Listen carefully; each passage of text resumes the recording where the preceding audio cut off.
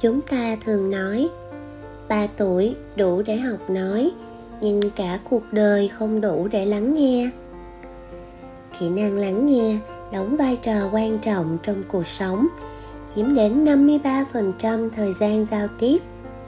Lắng nghe là một quá trình chủ động, tập trung và mong muốn thấu hiểu mọi nội dung của người nói. Lắng nghe là một kỹ năng cần phải rèn luyện trong một thời gian dài mới có thể thành thạo. Hôm nay, tôi rất vui được gặp lại các bạn ở vòng chung kết cuộc thi Wellspring Voice của trường Wellspring Sài Gòn để cùng giới thiệu quyển sách Kỹ năng lắng nghe của tác giả Hiraki Noriko. Mời các bạn cùng lắng nghe chương 5 Lắng nghe câu chuyện của những người trên nhiều cương vị khác nhau, để có thêm nhiều góc nhìn thú vị từ việc lắng nghe. Chương 5 Lắng nghe câu chuyện của những người trên nhiều cương vị khác nhau. Lắng nghe dựa trên cách đối phương thể hiện để tạo dựng một mối quan hệ assertive biết được cách đối phương đang thể hiện điều kiện tiên quyết khi lắng nghe là bạn phải nhận thức được đối phương là người như thế nào, bạn và đối phương có mối quan hệ ra sao. Nhận thức mối quan hệ giữa bản thân và đối phương. Đối phương đang trò chuyện với bạn, có thể là người thân, bạn bè, đồng nghiệp hoặc người mới lần đầu tiếp xúc. Căn cứ vào tính tương hỗ của một mối quan hệ chúng ta có thể xếp đối phương vào mối quan hệ gia đình hoặc mối quan hệ công việc.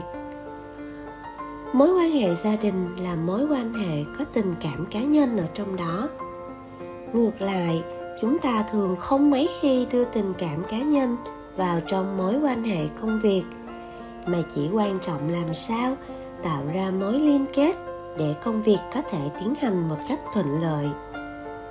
Mối quan hệ gia đình trước tiên đòi hỏi các thành viên sự thân mật mà những vấn đề phải đạt được hoặc công việc hoàn toàn không có.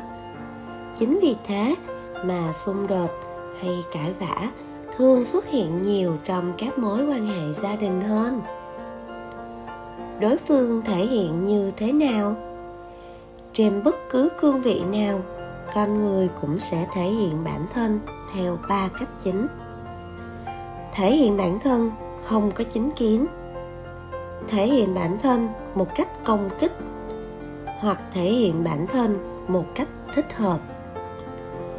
Để có thể lắng nghe một cách hiệu quả, điều đầu tiên chúng ta cần làm là hiểu được đối phương đang muốn thể hiện như thế nào. Tiếp đến, đừng bao giờ quên một điều rằng đối phương sẽ thay đổi cách thể hiện bản thân tùy theo việc bạn đang lắng nghe một cách đơn thuần hay lắng nghe bằng cả trái tim. Nếu bạn có thể lắng nghe một cách assertive, thì đối phương cũng có thể thể hiện bản thân một cách assertive. Trong phần này, chúng ta sẽ cùng tìm hiểu những phương thức để tạo dựng mối quan hệ assertive với những người ở nhiều cương vị khác nhau cương vị đầu tiên, lắng nghe câu chuyện của vợ hoặc chồng, giải thích một chút về hoàn cảnh sự việc và lắng nghe. Hiện nay, có rất nhiều cặp vợ chồng đang dần đánh mất khả năng lắng nghe khi nói chuyện với người bạn đời của mình. Nếu cả hai cùng đòi hỏi đối phương phải lắng nghe những gì mình nói, thì cuộc hội thoại giữa hai người sẽ trở thành như thế này. Tại sao anh về muộn? Anh làm thêm giờ. Vậy tại sao anh phải làm thêm giờ? Tất nhiên là bệnh nên mới phải thế rồi. Tóm lại là anh chẳng bao giờ suy nghĩ về cái nhà này cả. Thế em nghĩ anh đang làm việc vì ai?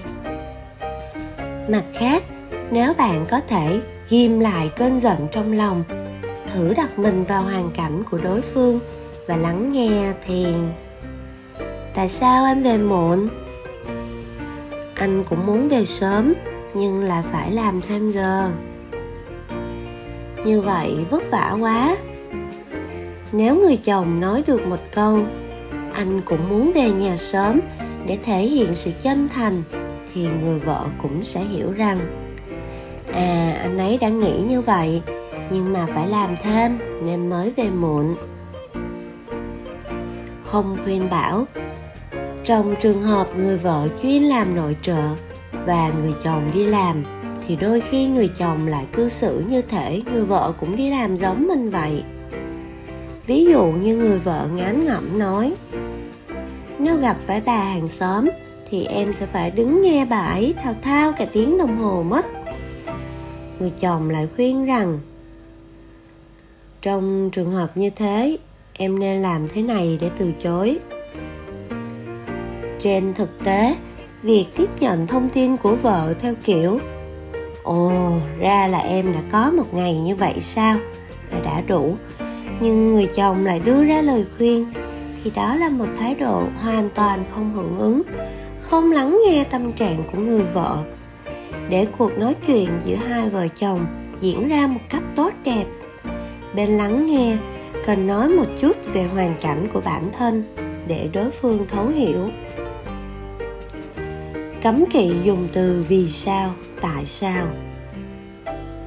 Trên thực tế, rất nhiều người có câu cửa miệng là những câu mang hàm ý chất vấn như vì sao hay tại sao. Ví dụ, với chồng thì nói rằng, vì sao anh lại không về đúng giờ? Với vợ thì nói, sao em không bật đèn lên? Với con thì tại sao con quên đồ? Sẽ là thiếu sót nếu bạn cho rằng những từ như vì sao, tại sao chỉ đơn thuần là những từ khởi đầu cho sự nghi vấn. Từ bao hàm ý khiển trách, đó là trường hợp chúng ta dùng từ tại sao không phải để lắng nghe lý do mà đang bao hàm ý, chất vấn, khiển trách. Bởi vì từ tại sao cũng có thể bao hàm sắc thái trách móc. Lý do của bạn không hợp lý, nên phía người nghe sẽ cảm thấy bị xúc phạm.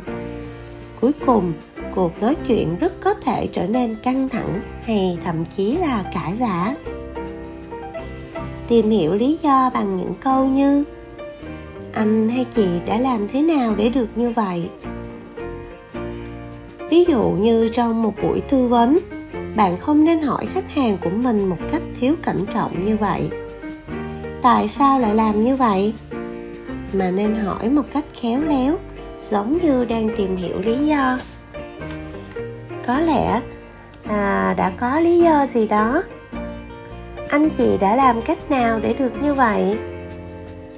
Hãy nhớ nếu dùng không đúng lúc đúng chỗ chỉ những câu vì sao tại sao rất dễ khiến cho đối phương cảm thấy bạn đang đổ lỗi.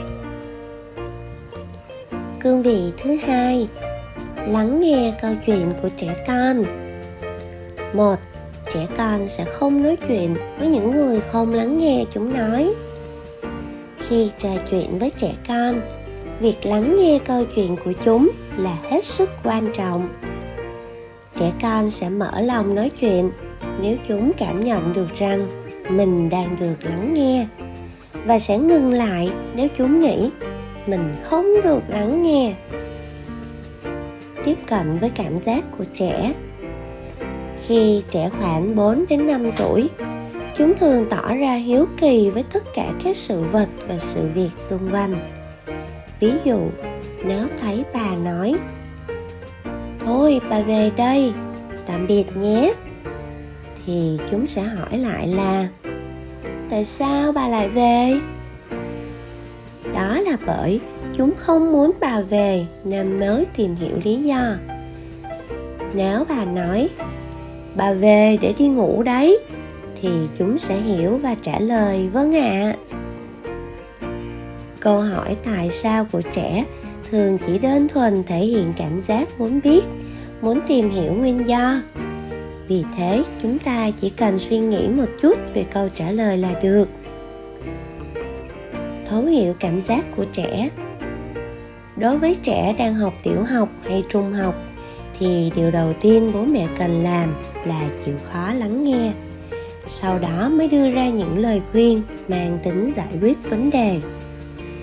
Ví dụ, cam bạn trở về nhà sau khi bị thua trận bóng điều đầu tiên cậu bé muốn nói sẽ là cảm giác buồn chán, tiếc nuối của mình.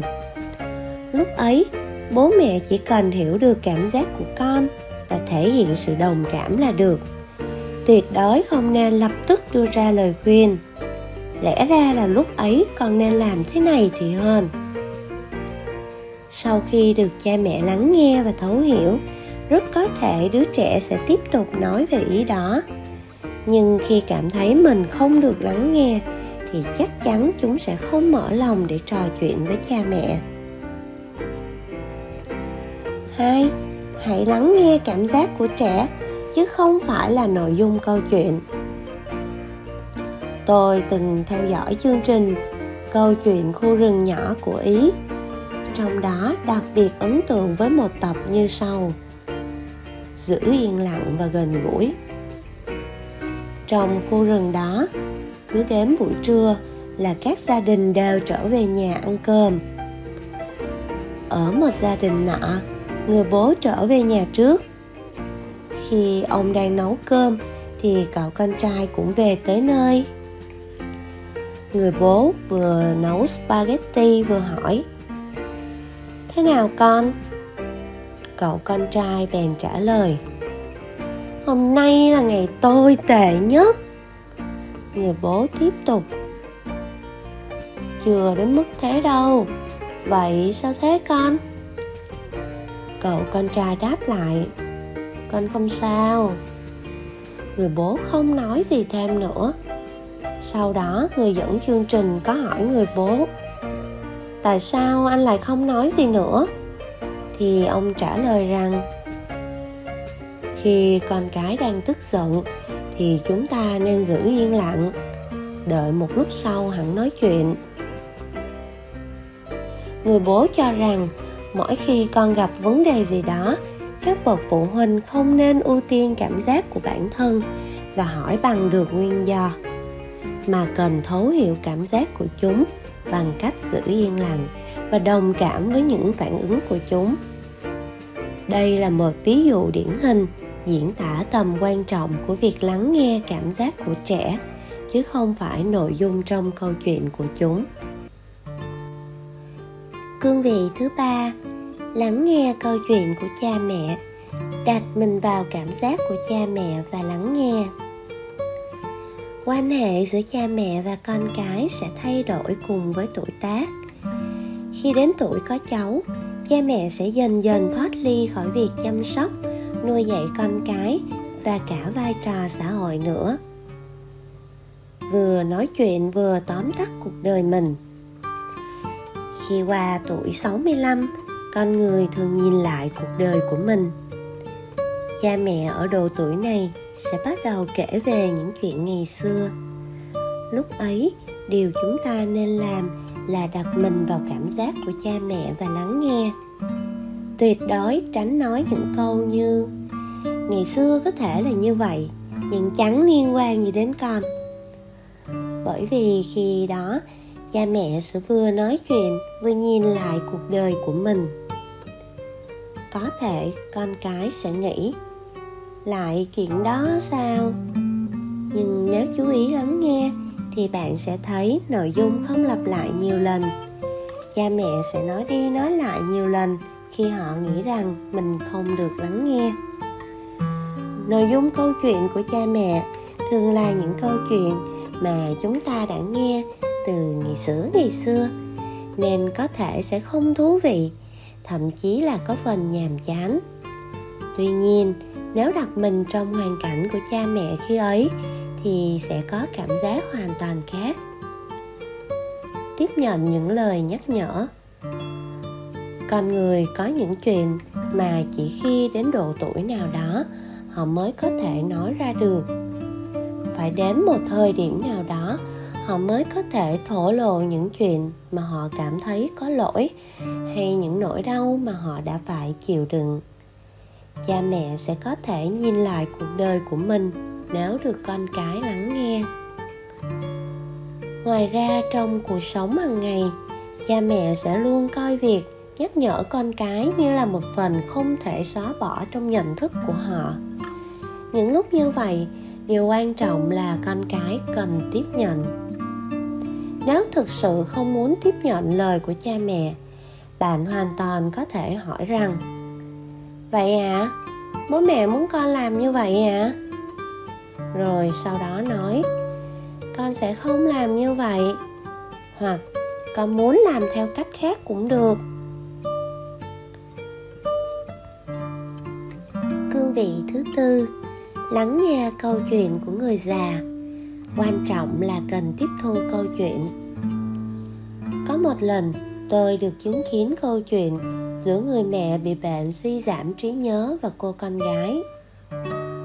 Người mẹ bị bệnh suy giảm trí nhớ đã nói với con của mình là, con sổ tiết kiệm của mẹ bị mất rồi. Con đã giấu nó ở đâu? Cô con gái gắt gỏng đáp lại, con không giấu đâu mẹ, tự mẹ cất đi nhưng lại quên đấy. Trong tình huống đó, rất có thể cô con gái đã nghĩ rằng mình phải bảo mẹ mới được, phải làm cho mẹ nhớ ra nên mới nói như vậy. Người mẹ tìm không thấy nên tưởng là bị giấu mất, nhưng cô con gái lại hỏi, mẹ không nhớ à? Vì vậy người mẹ sẽ cảm thấy mình bị trách móc, bị con gái cho là lẩn thẩn. Mâu thuẫn nảy sinh bởi cô con gái chỉ biết đến người mẹ khỏe mạnh của mình trước đây mà không muốn chấp nhận trạng thái hiện tại của mẹ. Phương pháp hiệu quả nhất để giải quyết vấn đề này là đừng so đo từng ly từng tí. Nếu mẹ có nói, con, mẹ bị mất quyển sổ tiết kiệm thì hãy cứ tiếp thu và thử hỏi lại. Trước đó thì nó đã ở đâu ạ? À? nếu mẹ nhớ ra, trước đấy nó đã ở đây. Thì hãy tiếp tục nhẹ nhàng nói rằng à thế thì con và mẹ thử tìm ở đó nhé. Việc lập tức phủ nhận thẳng thừng. Con không lấy khi mẹ nói bị mất sổ tiết kiệm, chứng tỏ rằng bạn đang so đo từng ly, từng tí. Ngoài ra, những câu cảm thán như, mẹ lại nói thế rồi, cũng là một kiểu phớt lờ cảm xúc của mẹ. Nếu bị mẹ đổ lỗi, con con đã lấy phải không? thì đừng vội bức xúc. Hãy bắt đầu bằng việc xích lại gần cảm giác của mẹ và nói, mẹ mẹ nghĩ là bị mất à? Không chỉ đối với cha mẹ của mình, mà kể cả khi giải quyết khúc mắc với những người cao tuổi khác. Việc trả lời mà không phủ định câu từ của đối phương là hết sức quan trọng. Cương vị thứ năm, lắng nghe câu chuyện của người gặp lần đầu. Vừa lắng nghe, vừa tìm kiếm những chủ đề gợi ý cho cuộc trò chuyện khi nói chuyện với người mới gặp lần đầu, thì điều cơ bản là làm sao để vừa cho họ biết được những thông tin của bạn, vừa làm sao để hiểu được đối phương. Đầu tiên, cần chú ý để cuộc trò chuyện diễn biến ở mức độ an toàn, không động chạm đến những vấn đề dễ tổn thương hoặc những điều đối phương không muốn nói.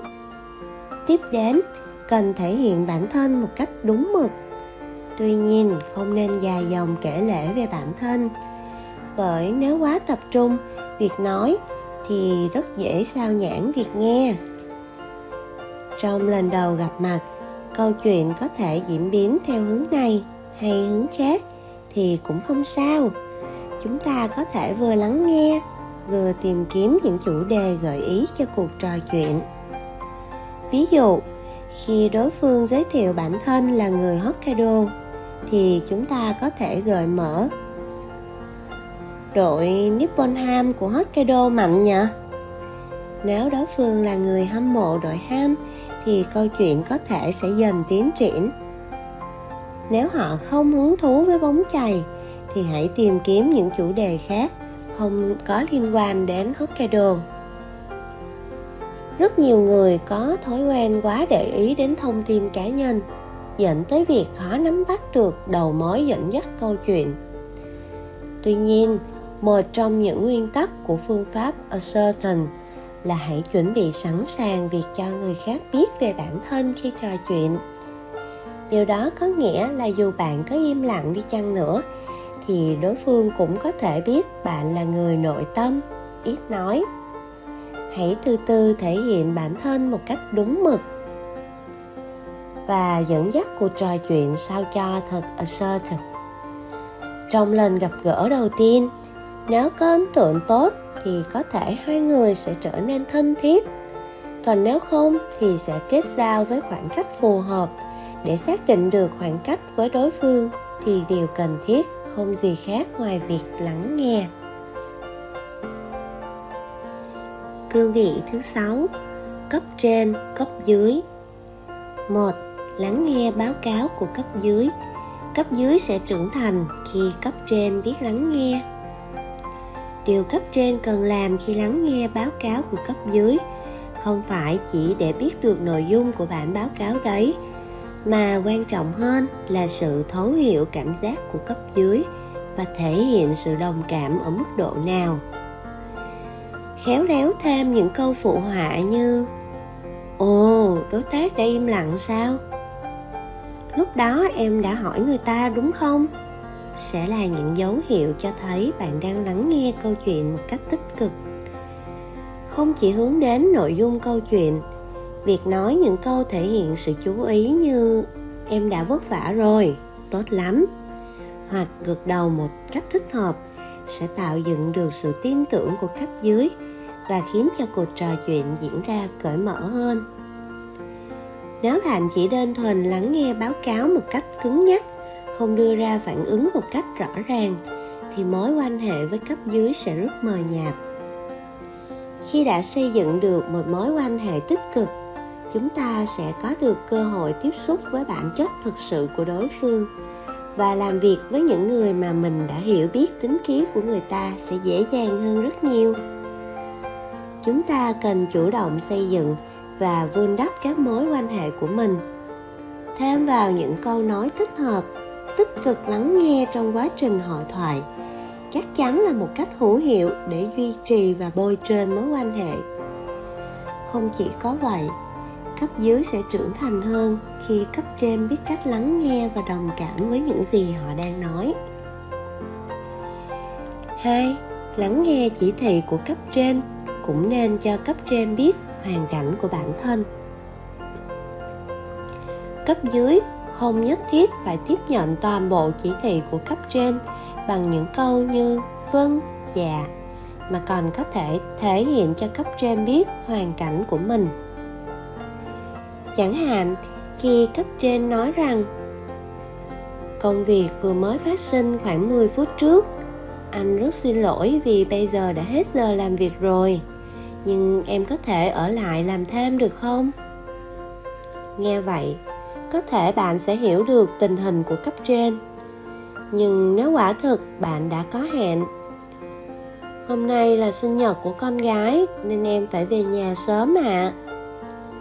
trong trường hợp này, cả cấp trên và bạn đều phải suy nghĩ để tìm được biện pháp tối ưu. Bạn có thể đưa ra một vài đối sách như ngày mai em đến làm sớm có được không? Hoặc ừ, nếu chỉ khoảng 30 phút thì em có thể ở lại được. Nếu cấp trên cũng đáp lại rằng, vậy nhờ em sáng mai làm giúp nhé. Hay, em làm giúp anh đến những phần có thể làm được, còn lại anh sẽ nhờ người khác. Thì cả hai đều có thể đáp ứng được yêu cầu của nhau. Khi có việc riêng quan trọng bạn hãy thẳng thắn nói ra để cấp trên biết và chấp nhận điều, điều đó nếu bạn nói em có bạn thân ở quê lên và chúng em sẽ đi ăn tối nên nếu làm khoảng một tiếng thì được ạ à. thì cấp trên sẽ hiểu được hoàn cảnh của bạn tuy nhiên hãy từ bỏ những cách nói nhằm mục đích thu hút sự cảm thông hay đòi hỏi sự biết ơn bởi vì bản thân bạn đã quyết định thì không phải lỗi tại cấp trên, mà chính bạn phải chịu trách nhiệm với quyết định đó. Kể cả khi lỡ hẹn với người bạn thân vì về muộn, thì cũng cần thể hiện rằng bạn đã quyết định như vậy và bày tỏ lời xin lỗi chân thành. Một trong những điều quan trọng khi lắng nghe đó là hãy tạo ra khoảng thời gian đặc biệt để có thể lắng nghe tốt hơn nếu muốn hiểu được câu chuyện của người khác tốt hơn, bạn hãy nghĩ đến việc tạo ra một khoảng thời gian đặc biệt để lắng nghe. Vào một dịp đặc biệt như là ngày sinh nhật, tôi xin kể một câu chuyện nhỏ. Một gia đình nọ có ba người con. Mỗi năm, ba lần, bố mẹ sẽ dành riêng một khoảng thời gian đặc biệt cho từng đứa con của mình. Đó là vào ngày sinh nhật bố mẹ sẽ dẫn đứa trẻ đó ra ngoài chơi, cho đứa trẻ chọn quà sinh nhật, và sau đó cùng con trải qua khoảng thời gian trò chuyện vui vẻ tại quán trà. Ở quán trà, bố mẹ vừa cùng con uống trà, ăn kem hoa quả, vừa lắng nghe câu chuyện của chúng. Chẳng hạn như gần đây con đã có những chuyện gì? Có chuyện gì vui? Con muốn làm gì trong tương lai? Vì đây là một môi trường hoàn toàn khác với mọi khi nên rất có thể đứa trẻ sẽ chọn những chủ đề mà chúng không bao giờ nói khi ở nhà. Câu chuyện trên là một ví dụ điển hình về việc lắng nghe trẻ vào một dịp đặc biệt như ngày sinh nhật.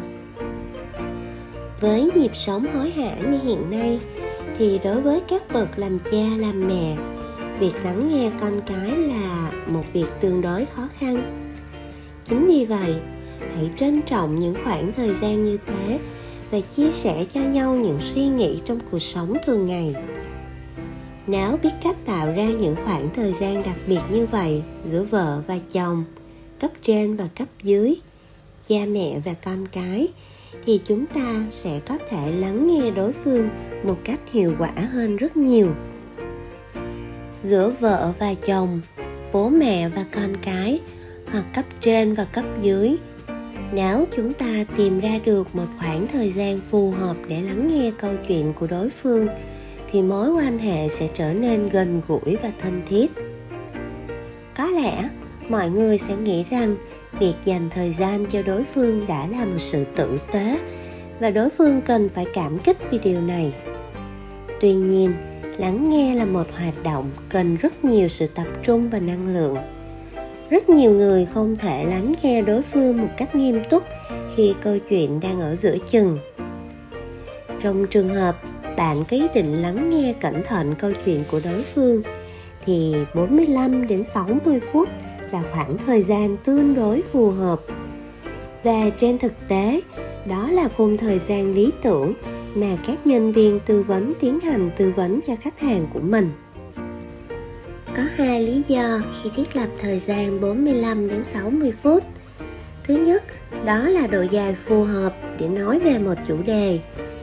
Thứ hai, vì cả hai sẽ trò chuyện một cách nghiêm túc nên nếu vượt quá khoảng thời gian đó thì cả người nói lẫn người nghe đều không thể tập trung thêm được nữa nói cách khác trong đời sống hay công việc thường ngày chúng ta sẽ có thể lắng nghe câu chuyện của đối phương một cách kỹ lưỡng.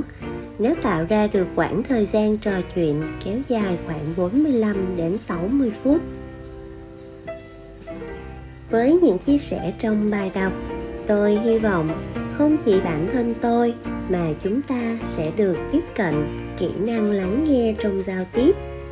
Không chỉ vì chính bản thân mình mà còn vì xã hội không cần những nhanh nhiều hoàn hảo, mà là nơi bồi dưỡng tâm hồn, nơi ai ai cũng được chia sẻ và lắng nghe theo đúng nguyện vọng của mình.